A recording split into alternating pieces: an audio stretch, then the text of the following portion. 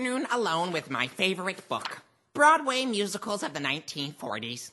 No roommate to bother me. How could it get any better than this? Oh, hi, Rod! Hi, Nicky. Hey, Rod, you'll never guess what happened to me on the subway this morning. This guy was smiling at me and talking to me. Mm, that's very interesting. He was being real friendly, and I think he was coming on to me. I think he might have thought I was gay. So why, why are you telling me this? Hmm? Why should I care? I don't care. What'd you have for lunch today? Well, you don't have to get all defensive. Oh, get it, Oh, why do I care about some gay guy you met, okay? I am trying to read. Well, I didn't mean anything by it, Rod. I, I just think it's something we should be able to talk about. Well, I do not want to talk about it, Nicky. This conversation is over. Yeah, but Rod. I- Over!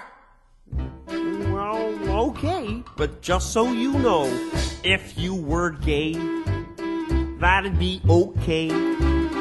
I mean, cause hey, I'd like you anyway, ah. because you see, if it were me, I would feel free to say that I was gay, but I'm not gay.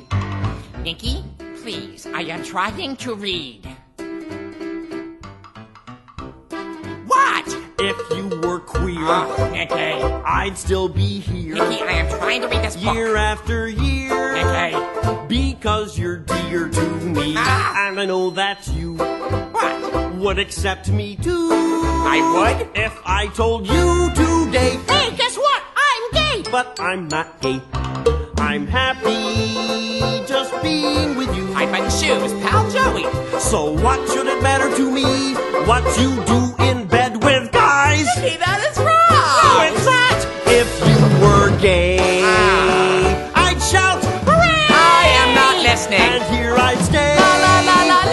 wouldn't get in your way. You can count on me to always be beside you every day to tell you it's okay. You were just born that way. And as they say, it's in your DNA. You're gay. I am not gay! If you were gay, ah!